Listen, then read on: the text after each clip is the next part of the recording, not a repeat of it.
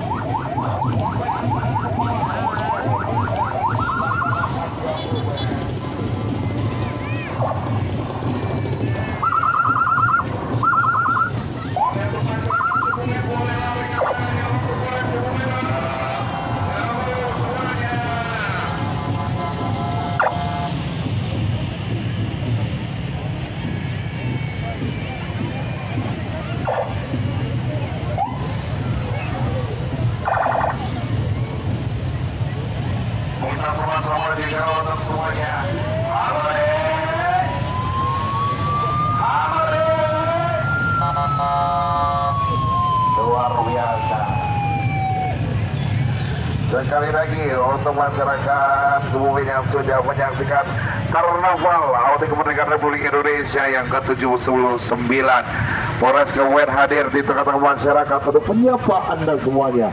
Malah pada sore hari ini tentunya kita akan kasih perlihatkan sebanyak dari satuan-satuan uh, satuan pemerintah.